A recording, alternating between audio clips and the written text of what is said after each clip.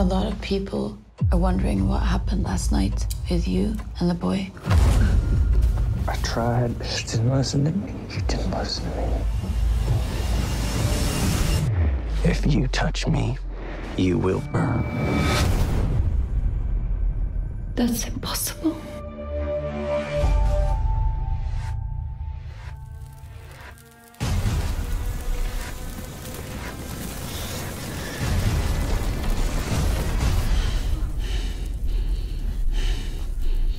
Do you believe me now?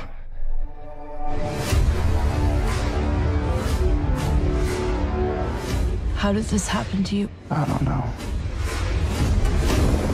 I don't care what he is. We need to find him quickly, get him under control. Eric, stop this! I can't.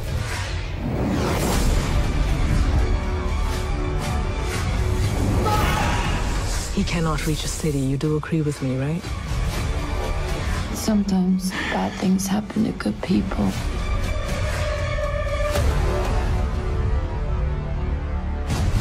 Don't! No! Don't tell him to take his hands off! Don't! Don't! Don't!